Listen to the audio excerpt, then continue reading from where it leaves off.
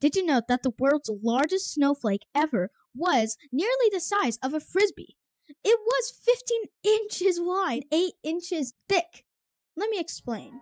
Let's go back in time to January 28, 1887. Army personnel posted on the western side of the then territory of Montana witnessed something astonishing. The soldiers had been sent to the Army Fort Keogh in the wake of the Little Bighorn massacre of Lieutenant Colonel Custer's 7th Cavalry. They had no clue that they were going to see something historic.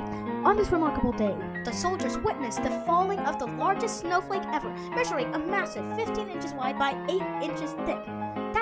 The size of a frisbee. Imagine trying to catch that with your tongue.